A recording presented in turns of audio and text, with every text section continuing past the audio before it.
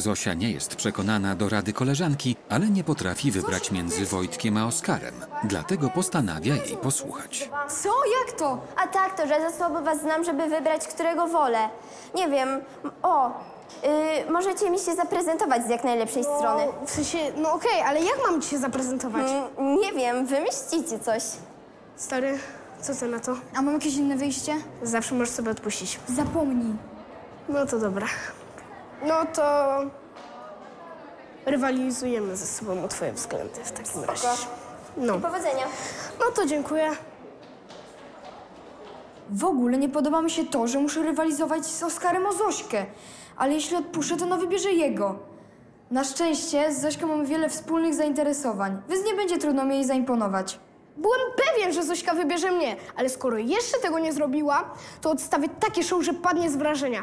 Wojtek to mój ziomek, ale sorry, ja mam prawie nieograniczone fundusze, więc nie ma przy mnie szans.